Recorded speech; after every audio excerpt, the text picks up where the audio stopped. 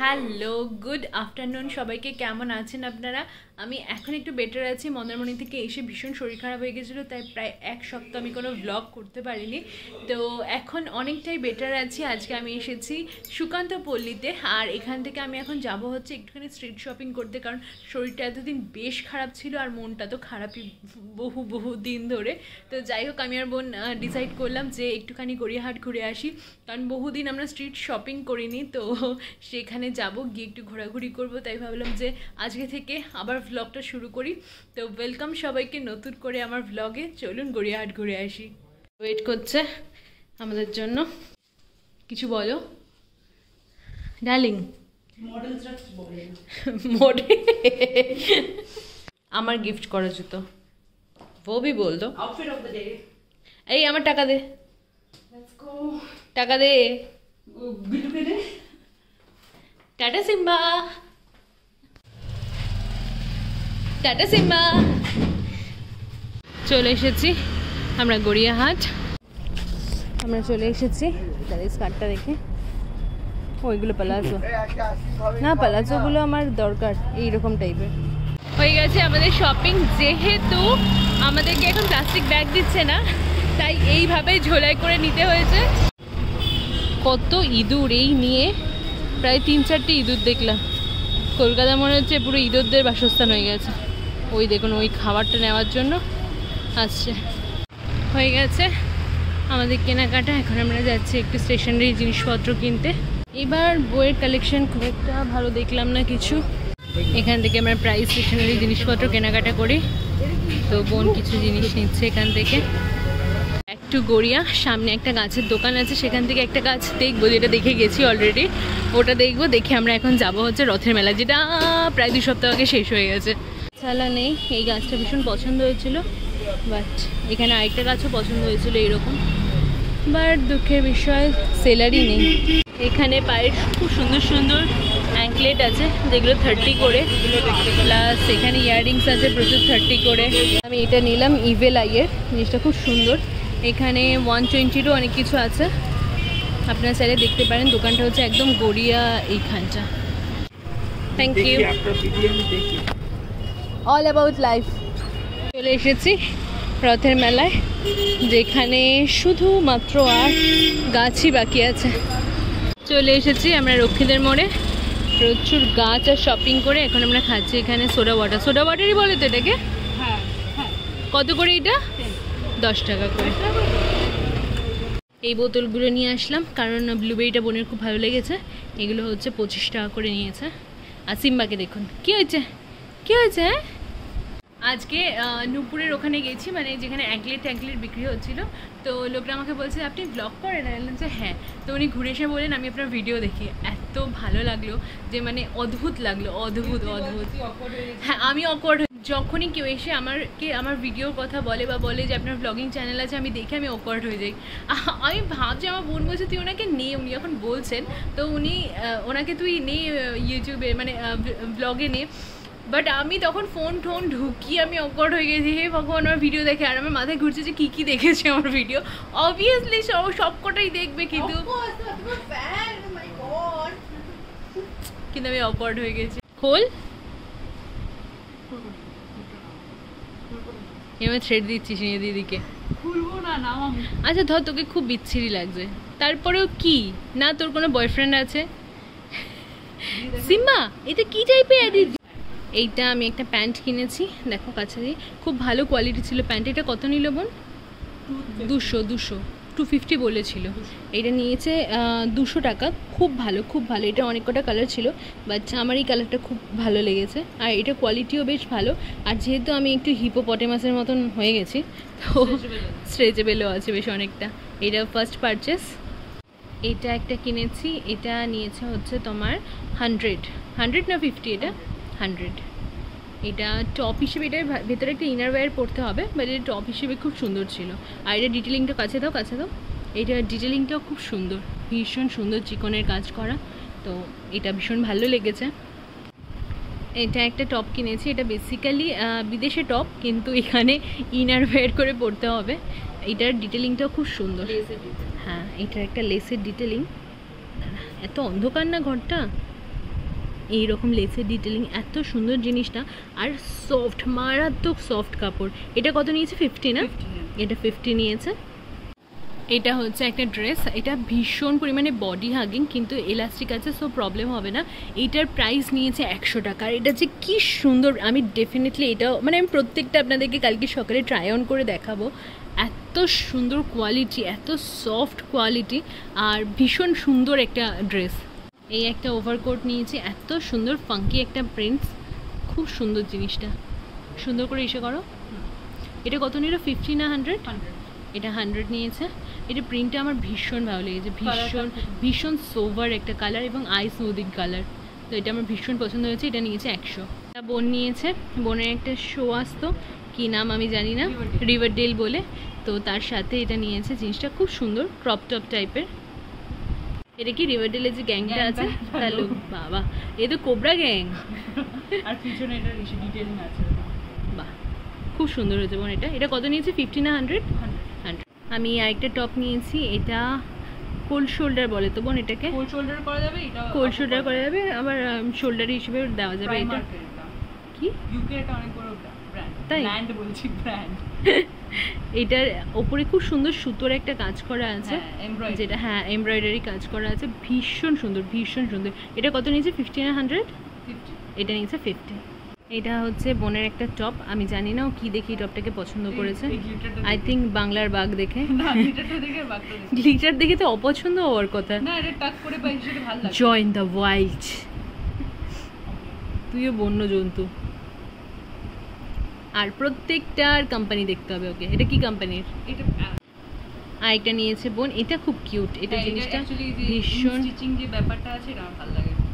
আচ্ছা আচ্ছা। কিন্তু এই এই সামনের যে কাঁচটা হ্যাঁ, এটাও ভীষণ সুন্দর জিনিসটা। হ্যাঁ কালারটা একটু খুব সুন্দর আছে।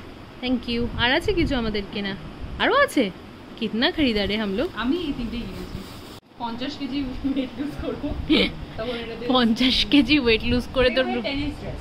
হ্যাঁ। কিন্তু খুব সুন্দর জিনিসটা ভীষণ হ্যাঁ, সুন্দর। আর বডি হাগ করে থাকবে তো তাতে খুব ভীষণ ভালো লাগবে। ভুড়ি দেখ বাঙালির ভুড়ি থাকবে না এটা এটা এটা হয় না। সেটা কি একটা ভালো কোম্পানি ওকে এটা কত নিয়েছে দেড়শো? হান্ড্রেড এটা আমারটা দেখা আমারটা। হ্যাঁ কিন্তু আমার এই রকম কাজ খুব ভালো লাগে। শোল্ডারটা বেরিয়ে থাকে খুব সুন্দর লাগে। এটা ব্ল্যাক এটা বেসিক একটা ড্রেস কিন্তু আমার এই জিনিসটা খুব ভালো লাগে এই হাতের যে কাটাটা এই ব্যাপারটা খুব ভালো লাগে। থ্যাংক ইউ আমার আমার রেকমেন্ড করেছি। এটা এটা যেটা আছে সেটা বেসিক্যালি যদি হাতটা এটা না করে পড়তে তাতে এটা দিয়ে হ্যাঁ। যে কোনো শার্ট দিয়ে পরা যাবে। সুন্দর লাগবে। খুব সুন্দর সুন্দর পপ করবে হ্যাঁ হ্যাঁ। এই এইটা কিন্তু ব্যাপক হয়েছে ব্যাপক হয়েছে এটা। কত নিয়েছে না? হান্ড্রেড না? 100 হান্ড্রেড খুব সুন্দর হয়েছে। ভাব দুশো টাকা একটা ধাসু ড্রেস এটা ছিল আজকের শপিং আমি আমারগুলো পরে কালকে দেখাবো বোনেরগুলো পরে আপনাদেরকে দেখাবো। এগুলো কিন্তু কোনোটাই ফার্স্ট হ্যান্ড হয় প্রত্যেকটা সেকেন্ড হ্যান্ড আর কিছু হ্যাঁ কিছু থাকে যেগুলো হচ্ছে কিছু ডিসপিউট থাকে সেগুলো ফার্স্ট হ্যান্ড হয়। কিন্তু জেনারেলি প্রত্যেকটা বাইরে থেকে আসে এবং সেকেন্ড হ্যান্ড মাল। অনেকে সেকেন্ড হ্যান্ড মাল পড়তে পছন্দ করে কারণ তাদের স্ট্যাটাস আর ইগো হার্ড করে। কিন্তু আমার স্ট্যাটাস আর আমার ইগো একদম হার্ড করে না। গড়িয়াহাটের ফুটের মাল পড়তে।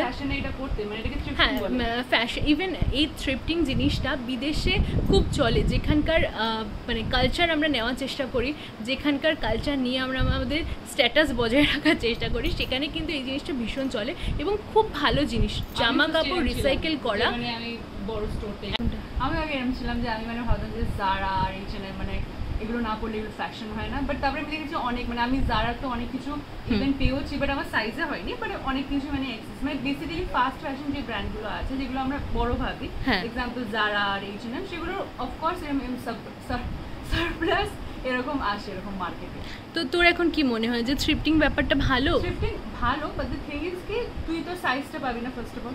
সাইজটাই পাবি তোকে প্রচুর খুঁজতে হবে। প্রচুর খুঁজতে হবে। আর মাঝে মাঝে কি হয় ধর তোর একটা স্পেসিফিক স্টাইল পছন্দ সেটা তুই পাবি না হয়তো।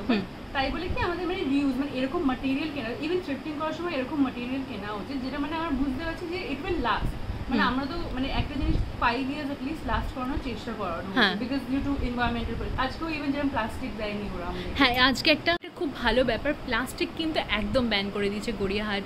মানে আমাকে একটা জায়গায় জাস্ট একটা জায়গায় হ্যাঁ, বোধহয় মানে প্লাস্টিক দিল তাও মানে মানে তখন আমাদের ব্যাগ পুরো ফুল হয়ে গেছে। কিছু করার নেই আমরা হাতে তো জাস্ট ক্যারি করতে পারব না তো ওরা প্লাস্টিক দিল। এটা গড়িয়াহাটের খুব আমি গড়িয়াহাটের থেকে এটা এক্সপেক্ট করিনি কারণ আমার মনে হয়েছে যে যারা ফুটে থাকেন বা যারা ফুটে ব্যবসা করেন তারা এই আইনগুলোর একটু বাইরে যেতে চায় বা বাইরে যাওয়ার চেষ্টা করে। কিন্তু গড়িয়াহাটে আজকে সেলারদের মেন্টালিটি দেখে ভীষণ ভালো লাগল। একটা প্রশ্ন করার আছে সেটা হচ্ছে যে ধর এই মালগুলো তো কেউ অলরেডি পরেছে ঠিক আছে? তো তুই যেটা পাচ্ছিস সেটা সেকেন্ড হ্যান্ড মানে হচ্ছে কারোর পরা জামা কাপড় তো এটা ফানি আমি সারা জীবন তোর পড়া জিনিস পড়েছি এটা বলা পরা এটা হ্যাঁ ভাব তুই কিন্তু যারা সেকেন্ড চাইল্ড হয়। বা যারা বাড়ির ছোট হয় তারা কিন্তু ছোটবেলা থেকে থ্রিফটিং করে। একজনের প্রবলেম হতেই পারে যে কি পড়েছে আমি জানি না তো তখন আমি জেনারেলি কি করি আমি গরম জলে এগুলো বেশিক্ষণ চুকিয়ে রাখি না বিকজ আমার ম্যাটেরিয়ালটা একটু লুজ হতে পারে। হ্যাঁ। বাট আমি জেনারেলি কি করি এটা গরম জলে একটু সার্ভে মানে ভিজিয়ে নিয়ে শুকিয়ে দিই। কিন্তু জানিস তো এগুলো আসার আগে হ্যাঁ, অলরেডি ধোয় ওরা। অলরেডি ড্যাম্প আছে মানে। আর যেখানে মানে প্রসেসিং থাকে বেসিক্যালি এরা তো এরকম ফেলে দেয় না ওরা কোনো একটা প্রসেসিং ইউনিটে পাঠায়। হ্যাঁ। প্রসেসিং ইউনিটে যেটা বাজে হয় সেটা ওরা ফেলে দেয় ডাম্প করে কিন্তু যেগুলো রিসেল সেগুলো ওরা প্যাক করে মানে এই এই সব কান্ট্রি পাকিস্তান কিন্তু তবুও যেহেতু বর্ষাকাল সেই জন্য তুই মানে তুই সবসময় প্রতি বছর সবসময় এটাকে হ্যাঁ এটা ঠিক আছে কারণ ওরা কীভাবে পরিষ্কার করেছে যেগুলো থাকে সেগুলো ওয়াশ করে নেওয়া উচিত। বাট আমরা কি হয় আমরা গ্ল্যামার দেখলে ভাবি কি যেগুলো ওয়াশ করা ওগুলো বিশাল লাইক পরিষ্কার। হ্যাঁ। বাট অ্যাকচুয়ালি ওরকম হয় না। মানে তুই যদি পুরোটা বুঝিস ব্যাক অফ দ্য তোর এটা পড়তে আগে কি কোনো সময় খারাপ লাগতো বা এখন খারাপ লাগে যে আমি সেকেন্ড হ্যান্ড মাল পড়ছি? আমি তো মানে খুবই স্নবি ছিলাম একদম মানে হ্যাঁ। যারা ফ্যাশন আমি এই বাবা ফুটের মাল কিনবো না যারা fashionable H N M fashionable but actually ওটা না দেখতে গেলে কিন্তু ফ্যাশন তোর কাছে যেটা আছে তুই হ্যাঁ। যদি ফ্যাশনেবল হইস তুই সেটা দিয়ে কাজ চালিয়ে যাবি Exactly. বা তুই নিজের স্টাইলটা যখন বুঝবি এটা এরকম না যে যারায় সবসময় ভালো জিনিস পাওয়া যায়। মানে এখানে এই যে গ্রিন শার্টটা এটা যারায় দু হাজার টাকা অ্যাটলিস্ট দাম হতো। মানে বিকজ ওদের অনেক কিছু ব্যাপার আছে শোরুমের কস্ট লাইটিং। কস্ট এরকম ব্যাপার। ব্র্যান্ড কস্ট তো ওটা একটা প্রবলেম থাকে বাট দ্য থিং ইজ কি যারা পড়লেই তুই ফ্যাশনেবল বা এইচ এন এম পড়লেই তুই fashionable ফ্যাশনটা up to you exactly I think যে যে কারণ কি দেখ তুই তো একটা বড় এক্সাম্পল হচ্ছে যে নর্থ ইস্টে নর্থ ইস্টে থ্রিফটিং কিন্তু অ্যাটলিস্ট টেন ইয়ার্স আগে ছিল বাট ওদের মানে নর্থ ইস্টের মানুষরা খুব থ্রিফটিং করে। থ্রিফটিং করে আর হচ্ছে যে অফকোর্স ফিগারটা একটু হলেও ম্যাটার করে বিকজ ওরা যা পরে দেখে ভালো লাগে। বাট এটাও তোকে বুঝতে হবে যে ওরা কিন্তু যা ইচ্ছে করে না। সবাই ডিফারেন্ট ডিফারেন্ট একটা স্টাইল পরে এই এর ফলে একটা? নিজস্ব স্টাইল আছে। হ্যাঁ যেটা বাঙালিদের মধ্যে একদম নেই। হ্যাঁ, হ্যাঁ। কারণ আমরা কপি করি। আর মানে আমরা আমাদের বডি টাইপটাও বুঝি আমাদের একটা ভুড়িও হয়ে যায় এর জন্য একটা প্রবলেম হয়ে যায়। বুড়ির কথা তো আর নাই বললে। আমারটা মনে দেখা যাচ্ছে তো ইয়া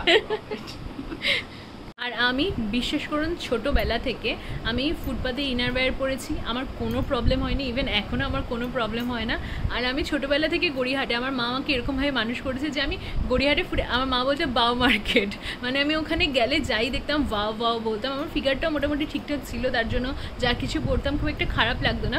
কিন্তু আমার সব থেকে বেশি ভালো লাগতো যে আমি না প্রচুর জামা কাপড় হবে। কিছু মানুষ এটা ভাবে যে আমার অল্প পোশাক হবে, কিন্তু খুব কোয়ালিটির পোশাক হবে। আর আমি ছিলাম পুরো উল্টো। আমি হয়তো যে আমার বিচ্ছিরি কোনো কোয়ালিটি দরকার ইভেন জুতোর ক্ষেত্রেও। আমি হয়তো আমার চার পাঁচটা জুতো হবে কোয়ালিটি বেশি হয়ে যায়। হ্যাঁ কিন্তু জিনিস কিনলে কি অনেক বছর চলবে? হ্যাঁ কিন্তু আমার দরকার ছিল না মানে অনেক আমার এমনি অনেক বছর চলতো যত্নে রাখলে এমনি চলে যায় আমার মা ছিল। সাপোজ একটা ড্রেস আছে না এসে ড্রেসটা আছে হ্যাঁ। ওটা বেসিক্যালি হচ্ছে মার্কেট স্পেন্সার একটা ফাস্ট ফ্যাশন ঠিক আছে? হ্যাঁ। বাট ওটা যে কোয়ালিটি ওটা হচ্ছে কটন ওটা আমি ক্লাস এইটে কিনেছি ওটা আমার এখন হয় ফিগারে এখন আর হয় না বাট ওটা এখনও পারফেক্ট আছে। মানে জিনিসটা নষ্ট হয়নি। একদম কোনো প্রপার হয়নি। মানে তুই যদি মাটেরিয়াল পলিয়েস্টার খুব তাড়াতাড়ি নষ্ট হয়ে যায় যেটা হ্যাঁ। শিনে পাওয়া যায় আরবানিকে পাওয়া যায় কিন্তু যদি কটন কিনিস তারপরে আরও আদার্স আছে নাইলন না সরি নাইলন বলছি সিল্ক কিনিস হ্যাঁ। তাহলে এগুলো কি অ্যাটলিস্ট টেন ইয়ার্স আমি জানি ড্রেসটা আরও টেন ইয়ার্স চলে যাবে। যদি হ্যাঁ। ফিগারটা একটু ঠিক করি তাহলে কিন্তু তোর বডি আর চলছে না। ইয়া ওকে কাট যাই হোক প্রচুর প্রচুর জ্ঞান দিয়ে দিলাম। কালকে আমি আপনাদের প্রত্যেককে হ্যাঁ আজকে নর্থ ইস্টের দুটো মেয়ে দেখলাম। তারাও প্রচুর জিনিসপত্র কিনছিল কিন্তু তাদের ফিগার ঈর্ষণীয়। হিংসে হওয়ার মতো না। আমরা মানে ওই মেয়েটা আর আমি হচ্ছি ওর ডবল তো অবভিয়াসলি না বডি শেমের ব্যাপার না। আমার পঁচাত্তর কেজি ওয়েট আমি কাকে শেম করব? আমি নিজেই একটা ভয়ঙ্কর বডি নিয়ে আছি। কিন্তু এটা ম্যাটার করে হ্যাঁ। যে যাই বলুক যে যাই বলুক মোটা হয়ে যাওয়ার পর বহু মেয়ে আছে যারা নিজেদেরকে খুব সুন্দর করে ক্যারি করে। কিন্তু তাদের সংখ্যা খুব কম। তোমার যদি ফিগার রোগা থাকে তাহলে অনেক জিনিস খুব ইজিলি তোমার বডিতে খুব সুন্দর লাগে। মানে কি বলব যে বডি হাগিং যে ব্যাপারটা সেইটা আমি ধরুন মোটা আমার প্রচণ্ড পরিমাণে ভুঁড়ি আছে আমি যদি এখন একটা বডি হাগিং ড্রেস পরি আমার ভুঁড়িটা এত বিচ্ছিরিভাবে বেরিয়ে থাকবে দেখতে ভালো লাগে না। আমার ডাবল চিনের জন্য আমাকে হ্যাঁ হ্যাঁ প্লাস সাইজের বহু মানুষ আছে যারা ভীষণ কনফিডেন্ট নিজের শরীর নিয়ে কিন্তু আমি একদম নই কারণ আমি আমাকে ভয়ঙ্কর লাগে। থেকে বড় কথা হচ্ছে যে নিজেকে ফিট রাখাটা সব থেকে বেশি জরুরি। ফিগার যেরকমই না থাকুক তার সাথে ফিট রাখতে গেলে নিজেকে রোগা করাটাও জরুরি। বহু মানুষ এটা বলতেই পারে যে আপনি মোটাদেরকে আপনি মোটা হয়ে মোটাদেরকে সেম করছেন। কিন্তু একদমই তাই নয়। মোটা হলে পরে প্রচুর প্রবলেম হয় শারীরিক তো হয়। আমারই হাঁটুর ব্যথা শুরু হয়ে গেছে কোমরের ব্যথা শুরু হয়ে গেছে। জাস্ট থার্টিতে পড়েছে আর সব রকম সমস্যা শুরু হয়ে গেছে। কিন্তু নিজের ফিগারটাকে ঠিক রাখা এবং নিজের ফিগারটাকে মানে নিজের শরীরটাকে সুস্থ রাখাটা খুব দরকার। যাই হোক এবার আমরা খাই হচ্ছে এক কাপ চা যেটা ভীষণ পরিমাণে দরকার কারণ আমার প্রচণ্ড ঘুম পেয়েছে। কালকে আমি খেয়ে নিয়েছিস? কালকে ভোর পাঁচটায় ঘুমিয়ে দশটায় উঠেছি তো এখন আমার মনে হচ্ছে আমি কতক্ষণে চা খেয়ে একটু এখনও এত এত গিফট রয়ে গেছে তো এখান থেকে আমি কিছু সর্ট করব যেগুলো আমি নিয়ে যাব পাটুলিতে।